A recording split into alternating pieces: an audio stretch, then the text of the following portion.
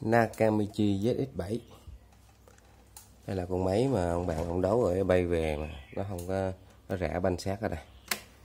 Cơ, nó ráp bị sai cơ này là rã banh ra. Và nó cũng ờ, tiếng nó nghẹt nghẹt, xử lý luôn rồi. Nên là nó bán, gọi là bán bán xét á. Về mình là ráp hết lại cơ, ráp hết lại thứ.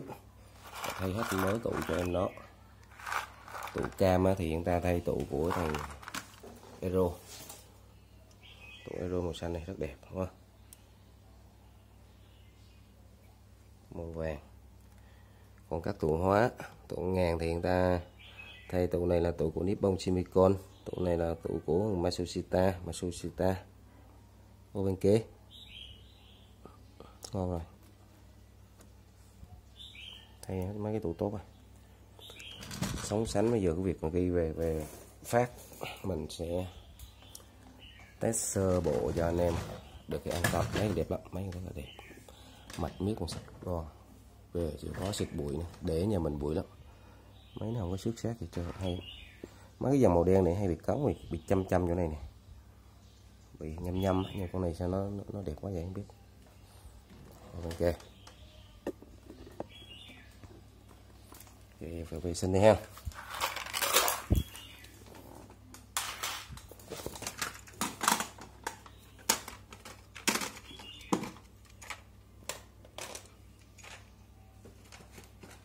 mấy tay nó không có ráp được thì mình ráp nó bán rẻ mình mua ráp chơi.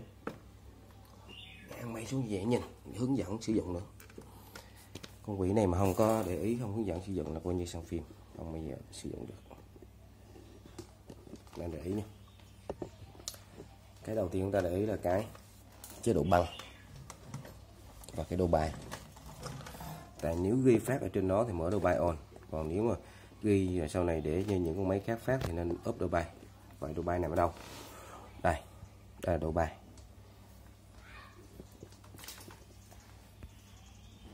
Đầu bài này chúng ta, khi mà chúng ta phát cho máy, nó tự ghi tự phát thì chúng ta đỡ bài C cũng được. Còn tốt nhất mình khuyến cáo nên ốp đi. Tại vì nếu ốp thì xì nền băng, nó có xì nền băng nhưng mà nó nhỏ lắm. Không sao.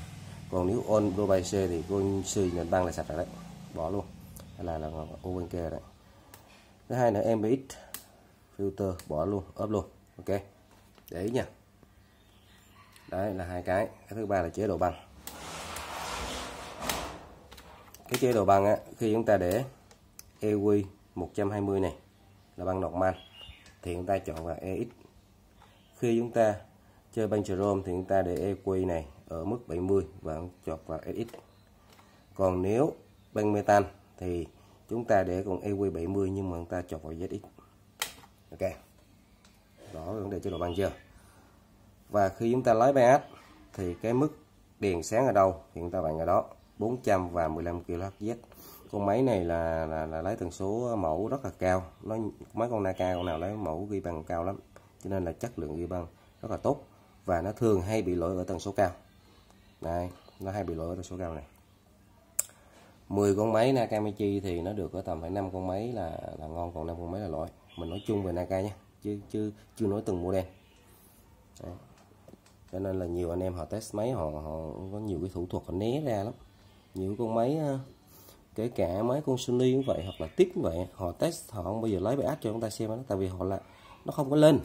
Không lên không ai lấy bài áp mà cứ để phải ghi vạn tùm lum là ví dụ đang vậy bật lên ghi và cứ bạn tùm lum đó không được. Nó phải đúng quy trình kỹ thuật của nó không? Thì chúng ta mới được con máy nó ngon hay là không ngon. Bây giờ tiếp theo chúng ta đây, chúng ta nói tiếp câu chuyện thì chúng ta test sơ cái tần số cho anh em an tâm. Test 400 trước nha. Mình sẽ chọn chế độ băng cho đúng rồi đã đây, băng đọc màn đây ít chút mình chỉ hướng dẫn cái hướng dẫn cái phần ghi băng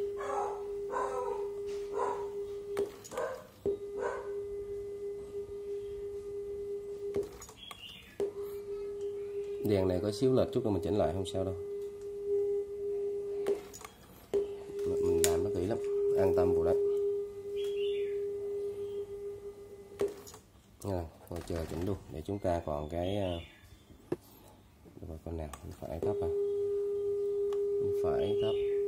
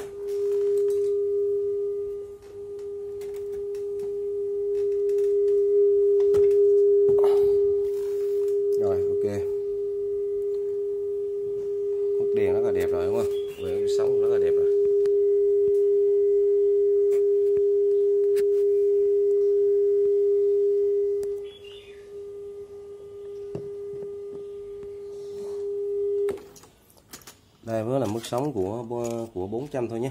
Tại vì nó lấy cái cái máy này 400 nó lấy channel và nó cũng lấy ờ, cái azimuth luôn. Mà riêng azimuth chúng ta không cần chỉnh nữa. Đừng chọt vào, đừng chỉnh. Tại vì mình chỉnh bằng oscilloscope, bằng máy đo rồi.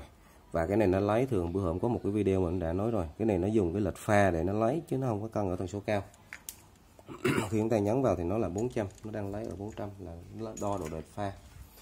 Đo độ lệch pha cũng được, nhưng mà nó độ chính xác nó không cao nó không bằng độ à, cái tần số lấy mẫu ở tầm 15 và chúng ta test ở azimuth.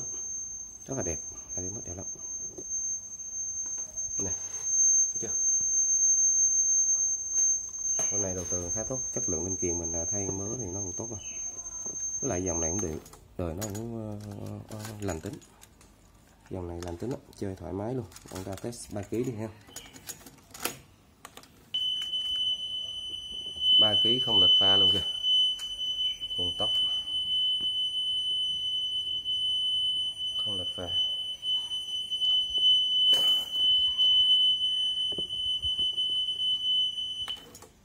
Rất là đẹp. Mấy được lắm giờ ngon. Và chúng ta test ở tầm 12.5 thôi để coi nó nó hiện lên cỡ nào. Với tần số.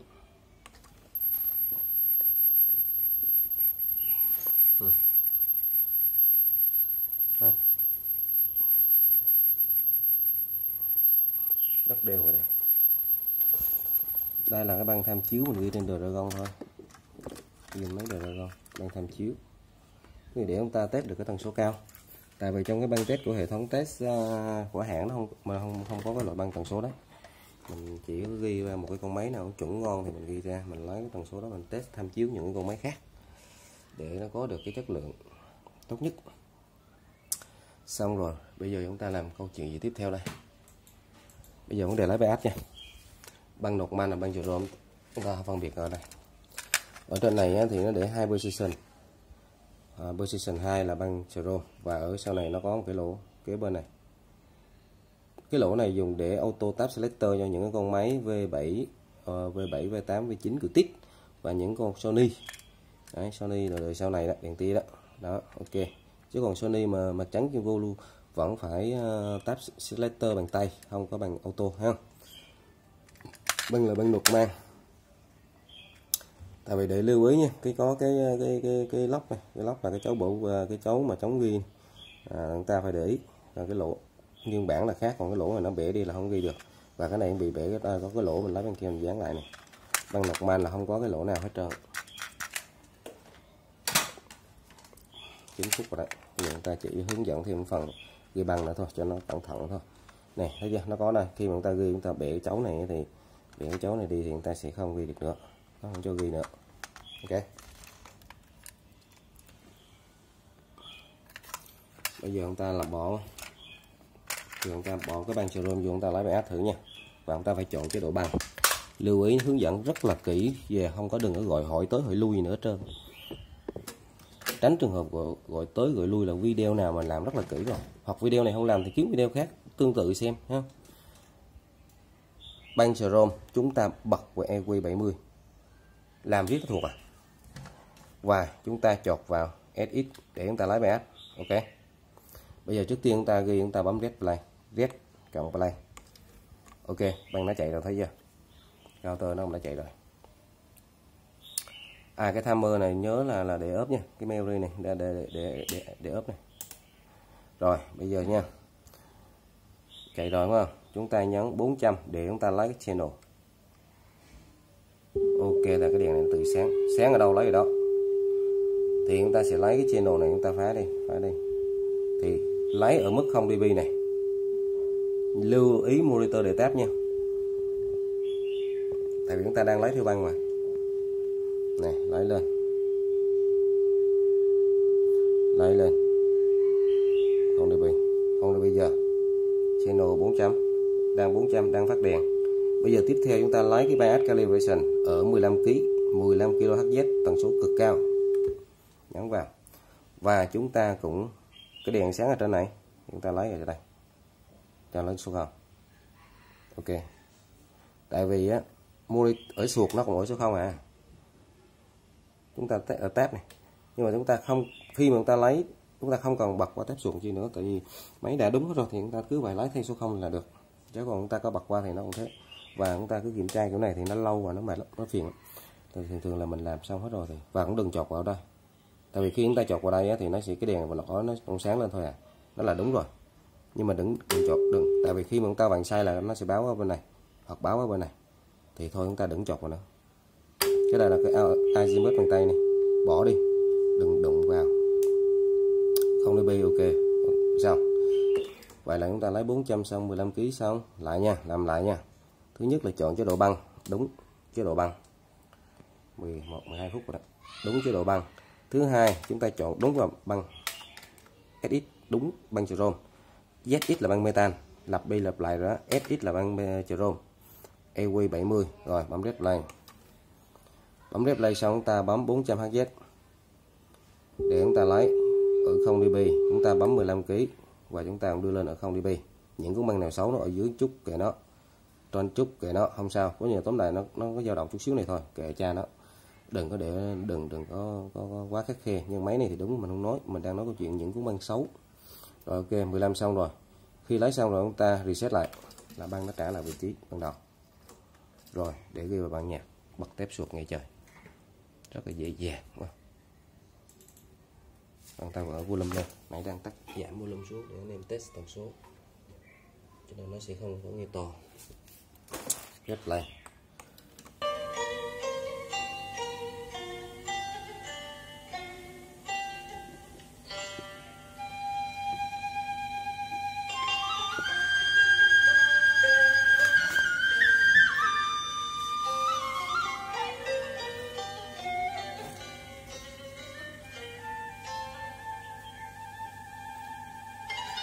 Cộng 5 dB trở lại. Ở số 5 thôi không có vượt quá. Nếu nó biến dạng âm thanh rồi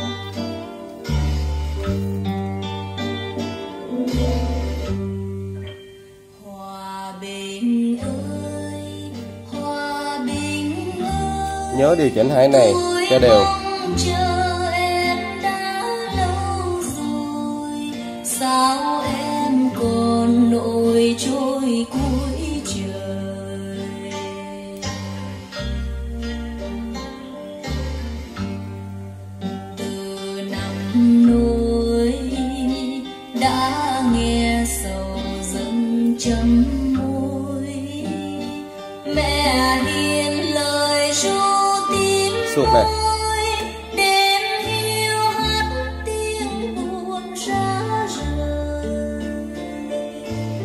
Suột là hát trên nguồn CD cassette này, tép là cassette này. Đồng ruộng hoang ôi dân nghèo sơ xác điêu tàn chờ thân phường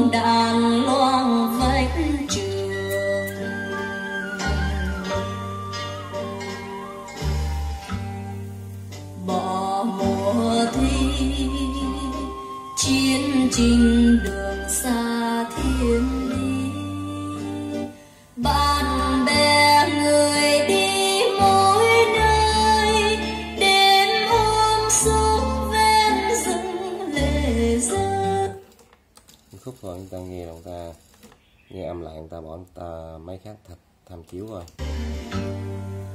Từ năm núi đã nghe sầu dâng chấm môi mẹ hiền lời ru tím môi đêm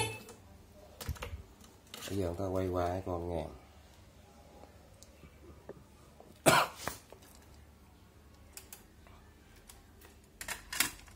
chế độ băng con này cũng chọn đúng cho nó.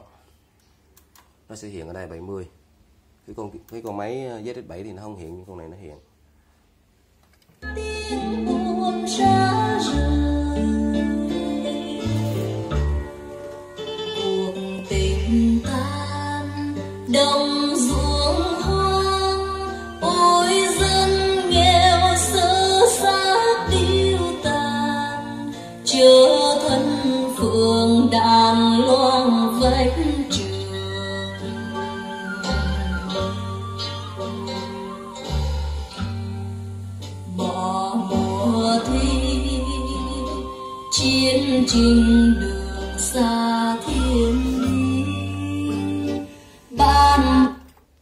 Là hay. Con này cũng đồ lớn rồi đồ cao rồi. Nên là ra ta không cái chất âm nó khác lắm. Nó vững vàng và nó, nó ma mị lắm. Không so sánh được. Mà để ý là chúng ta làm như thế để chúng ta biết được cái chất lượng băng con này ghi cực kỳ tốt. Ha anh em nào mua máy này mà chỉnh ngon hết rồi về ghi băng bán vô lưu là tuyệt vời. Nhưng mà nó cái cái, cái khổ cái giá nó hơi cao. Giá này cao. Cao hơn V9000 rất nhiều. Ok và bây giờ chúng ta băng này là băng nọc man đúng không? Chúng ta chọn selector băng này là băng nọc man và chúng ta lưu ý, chọn chế độ băng nọc man chúng ta chọn chế độ nọc man chọn 120 EQ lưu ý, bật cái này nha. Rất là rõ ràng về chọn tầm bảy đi. Cả cả ghi và phát, phải chọn đúng chế độ băng. EQ 17 chọn vào. 8 ok chứ còn về mà nọc man mà đi chọn Chrome và Chrome chọn nọc man là Trung Quốc hết luôn, không giúp ai trơn. Rồi, xong.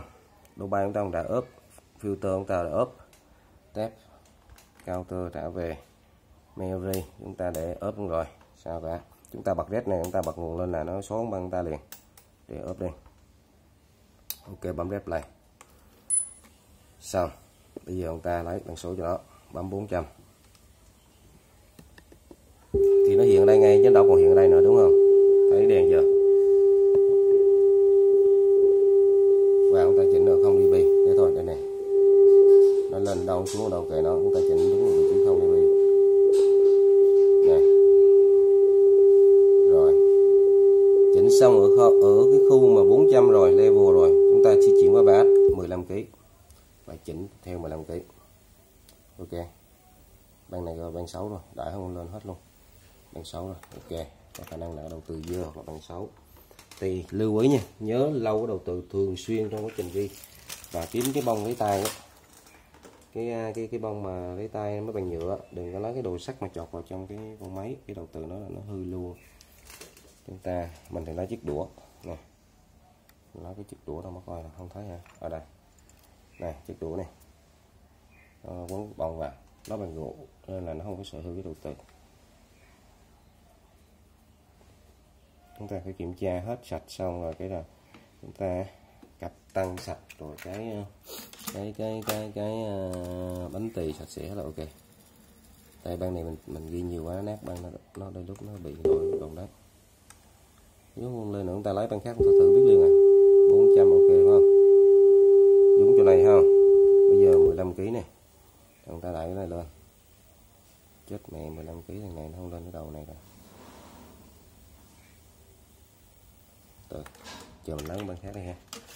Chứ tình hình này là không được. Ở đây con này đây. Ờ, à, còn là bằng này lọc man. Chọn đúng lọc man chưa? Đúng hết rồi. Ok.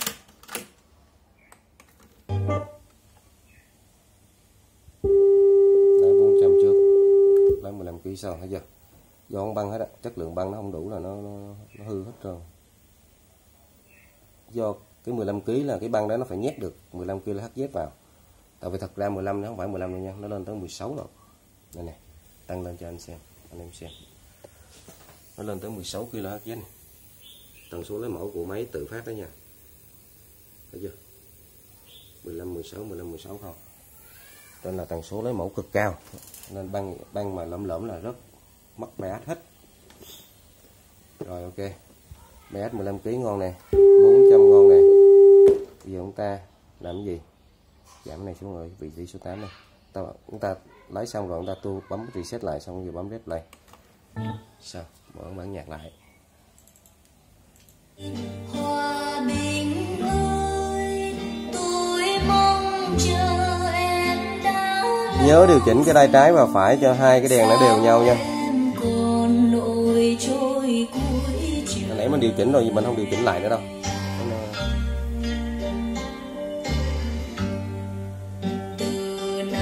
sục này. Đã nghe sầu dâng chấm cassette này. Mẹ hiền lời sục này.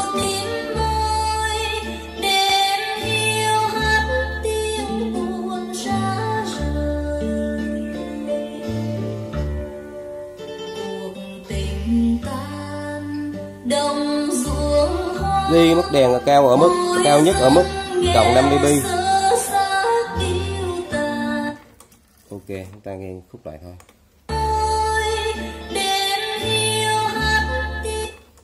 Rất là hay. Bỏ qua đây. Nhưng con máy này cũng phải chọn chế độ băng cho nó nha. Băng này cũng chọn EQ 10 120 chọn selector.